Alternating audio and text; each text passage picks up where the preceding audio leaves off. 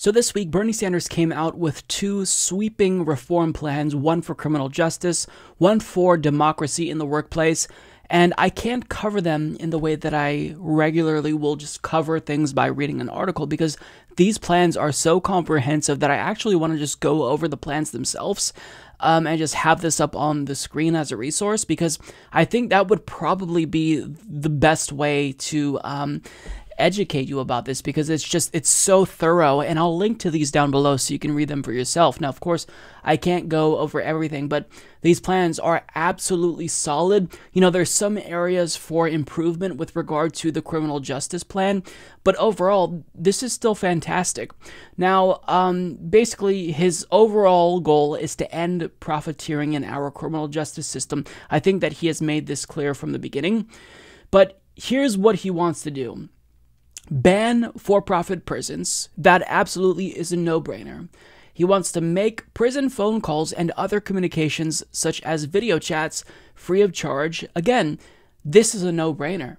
Um, I don't know how this would even be controversial, or if it is. I think that, you know, just because you are serving time doesn't mean that we have to remove humanity away from you and strip you of your dignity. Uh, incentivize states and localities to end police departments' reliance on fines and fees for revenue. This is huge.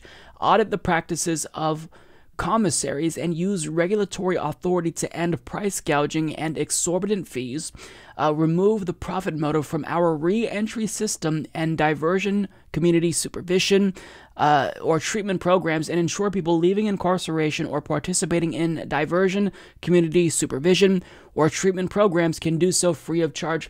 This is so important here because one thing that a lot of people don't realize is that the recidivism rate in the United States is absolutely astronomical, and it's because you serve your time, you get out, and maybe you lose contact with a bunch of people, and you don't have the resources needed to get off of your feet, and you know, different types of programs and whatnot that could help you, treatment programs and educational programs, you just you don't have access to them. So a lot of times people have to resort to crime again or feel the need to resort to crime and they end up back in prison. So trying to tackle recidivism is incredibly important and I'm glad that Bernie Sanders included that here. Now, he also wants to end cash bail. This is another no-brainer. It's a system that I don't even know why we have it. It just favors the rich because of course being free when you were arrested will entirely hinge on if you have the money to get out. Of course, rich people will pay their bail and poor people won't be able to do that. So this disproportionately favors the rich. Of course, we should end cash bail. Um, he wants to you end the use of secured bonds in federal criminal proceedings, provide grants to states to reduce their pretrial detention populations, which are particularly high at the county level, and require states to report on outcomes as a condition of renewing their funding, withhold funding from states that continue the use of cash bail systems. So, this is something that he basically has to do because these prison systems they're run at the state level. So at the federal level i don't believe that he can compel them to end cash bail. So basically what he's doing is you know this carrot stick approach. And in this instance he's using the stick to say look we'll withhold funding if you still use this antiquated cash bail program that just favors the rich. Um, that's important ensure that alternatives to cash bail are not leading to disparities in the prison system. Again, very forward thinking. So far, everything about this is absolutely amazing. And now here's where we get to a really important part. Ensure law enforcement accountability and robust oversight. So, rescind former Attorney General Jeff Sessions' guidance on consent decrees, revitalize the use of Department of Justice investigations, consent decrees, and federal lawsuits to address systemic constitutional violations by police departments. Ensure accountability, strict guidelines, and independent oversight for all federal funds used by police departments, end federal programs that use military equipment to local police forces. Of course, demilitarizing the police is important. Create a federally mandated database of police use of deadly force. Provide grants for states and cities to establish civilian oversight agencies with enforceable accountability mechanisms. Establish federal standards for the use of body cam cameras, including establishing third party agencies to oversee the storage and release of police videos. Very, very important Mandate criminal liability for civil rights violations resulting from police conduct. Limit the use of qualified immunity to address the lack of criminal liability for, crim- for civil rights violations resulting from police misconduct. Conduct a U.S. Attorney General's investigation whenever someone is killed in police custody. Very, very important because I don't expect someone who is investigating someone that they know on a personal level to be objective you know, you can't neutrally administer justice if you know that person. I couldn't investigate my friend and be fair, right? So this is important. Ban the use of facial recognition software for policing. I would like him to take this a step further and just ban the use of facial recognition software, period. Um, Ron Placone has done a number of videos about this. Fight for the Future has kind of taken this up as an initiative. And for those of you who don't know Fight for the Future, they are a huge net neutrality advocacy organi- organization.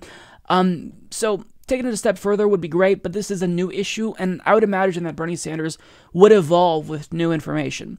Now, I'm not going to go through all of this because this is really long, but um, I wanted to get to the bulk of it. Provide more support to police officers and create a robust, non law enforcement alternative response system. And this force would emphasize de escalation. Now, every single police officer should be trained to de escalate and not further escalate, but I see what he's doing here, and I like this. Um, right to counsel, very, very important. Triple national spending, um, review current salaries and workloads, set a minimum starting salary for public defenders, create a national formula to assure populations have a minimum number of public defenders, um, establish federal guidelines and goals for a right to counsel, including policies that reduce the number of cases overall, create a federal agency to provide support and oversight for state public defense services. Um, okay, going down, rescind former Attorney General Jeff Sessions' orders on prosecutorial discretion and low level offenses. You know, rescinding these guidelines from Jeff Sessions, that will be easy. You don't have to pass that with a bill. So I would imagine that a lot of this he'll be able to check off before this even gets passed, you know, um, when it becomes a bill. Limit absolute immunity for prosecutors, which is used to shield wrongdoers from liability, and the practice of jailing material witnesses place a moratorium on the use of the algorithmic risk assessment tools in the criminal justice system until an audit is completed. As president, he will also abolish the death penalty, reverse the Trump administration's guidance on the use of death penalty drugs with the goal of ending the death penalty at the state level. Stop excessive sentencing with the goal of cutting the incarcerated population in half and mandatory sentencing minimums, reinstate a federal parole system, and end truth in sentencing. People serving long sentences will undergo a second look process to make sure their sentence is still appropriate. End three strikes laws, invigorate and expand the compassionate release process, expand the use of sentencing alternatives, revitalize the executive clemency process by creating an independent clemency board, uh, stop the criminalization of homelessness and spend more than 25 billion over 5 years to end homelessness. And with regard to the war on drugs, legalize cannabis, expunge past marijuana convictions, provide people struggling with addiction the health care they need, decriminalize possession of the drug that treats opioid addiction. Not even going to try to pronounce that word. That is a doozy right there. Uh, legalize safe injection sites and needle exchanges around the country and support pilot programs for supervised injection sites, which have shown to substantially reduce drug overdose deaths. This is so important, so forward thinking. This is going to be, you know, something that he'll be attacked for but this is crucial and it does work. I'll raise the threshold for when drug charges are federalized. Um, work with states to fund and pursue innovative overdose prevention techniques, institute a full review of the current sentencing guidelines, and end the sentencing disparity between crack and cocaine. Okay, so this is very long. Um, let me just go through the uh, Cliff Notes version here. Um, treat children like children. That means we ban the prosecution of children under the age of 18. I feel like this is a no brainer. Um, reform our decrepit prison system to make jails and prisons more humane. who would be against this? You know, and solitary confinement. This is so important because that is torture. That is absolutely cruel and unusual punishment. He wants living wages for prison labor, no more slave labor, the right to vote.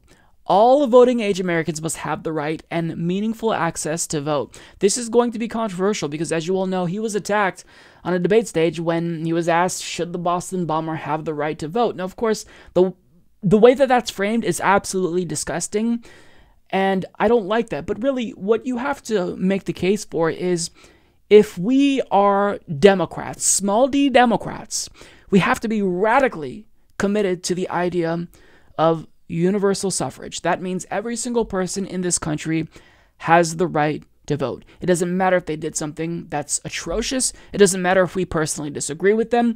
Every person has the right to vote. It's a matter of principle. So he will get attacked for this as well. Doesn't matter. This is the right policy prescription. We have to allow people the right to vote. Okay, ensure a just transition post release. So, um, let's see here. Reversing the criminalization of disability, investing in our communities, uh, federal jobs guarantee, $15 minimum wage. This is all so important, so comprehensive, and I look forward to seeing um, criminal justice organizations vet this if they haven't already. Um, but this seems incredibly, incredibly in depth, comprehensive.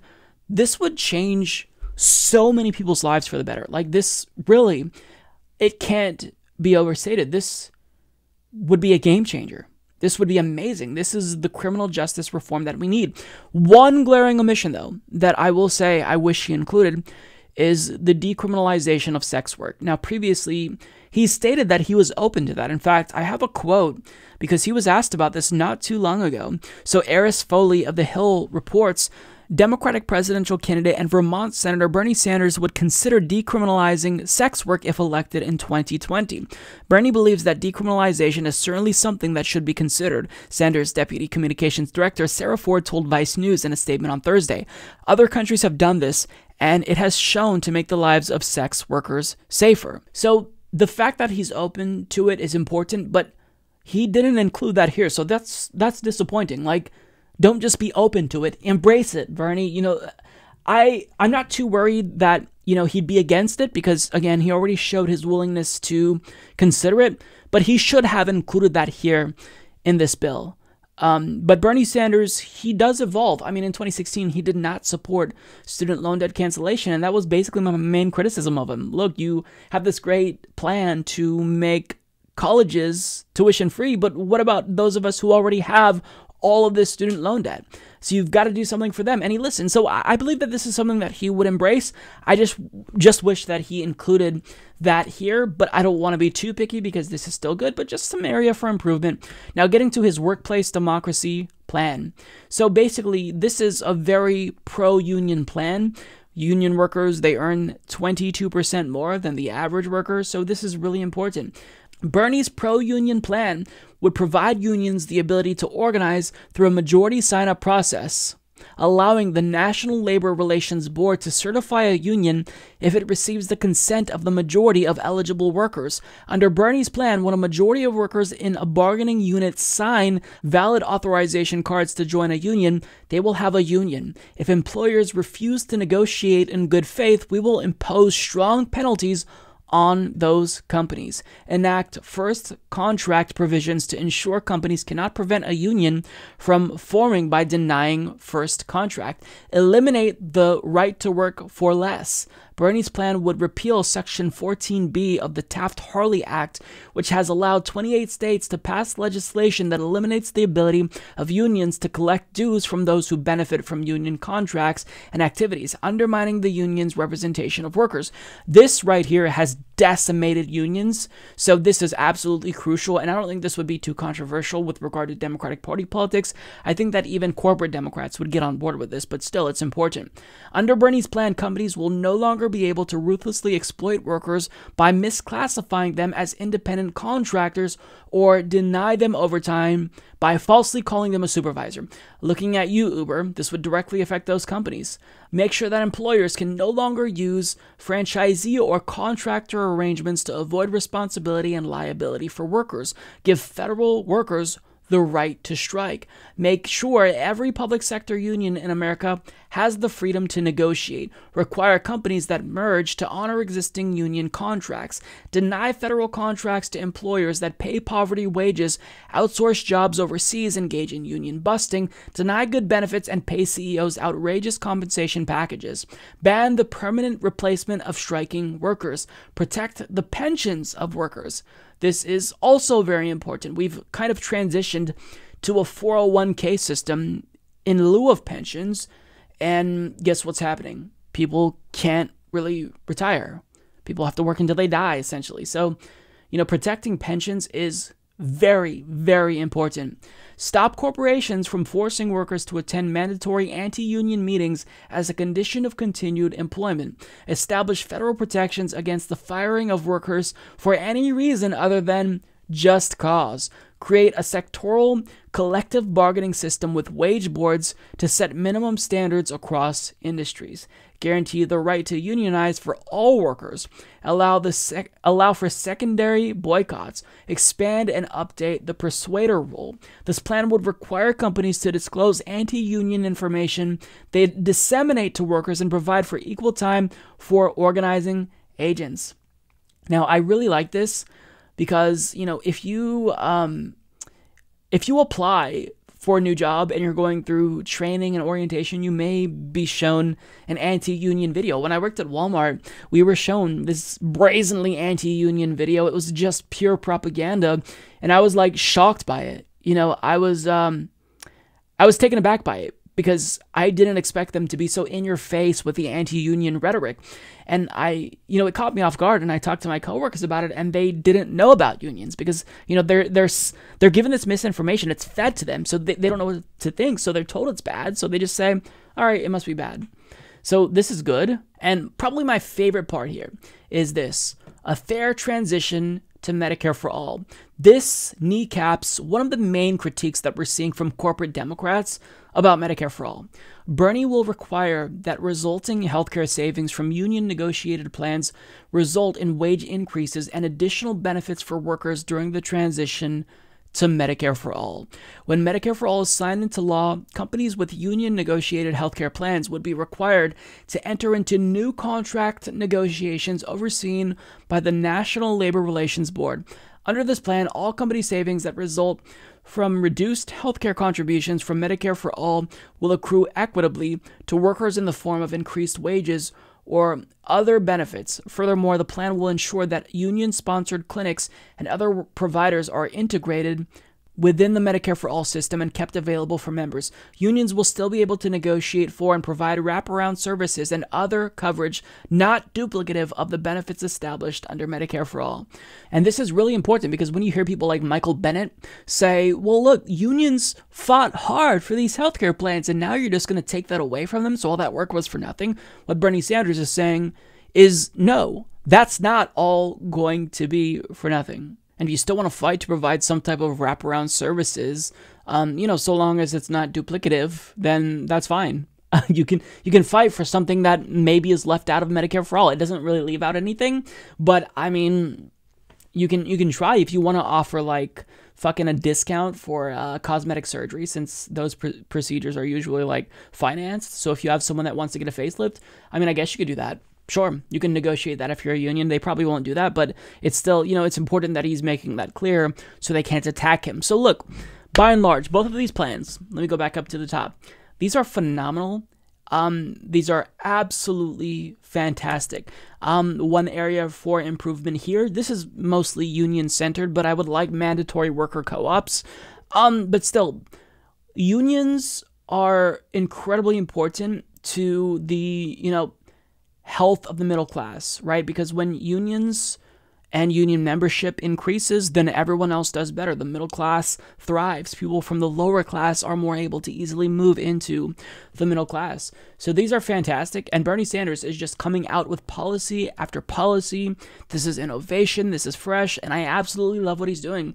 Um, so kudos to Bernie Sanders here because this is what you have to do when you have other competitors in the race who are trying to, um, you know, portray themselves as having a plan for everything. Mm, actually, Bernie Sanders is kind of the person who now has the plan for everything. So this is great. You know, this is what a Democratic Party primary is all about. I want to see everyone compete to be the best, and Bernie Sanders is winning by a mile and a half so far, as far as I'm concerned.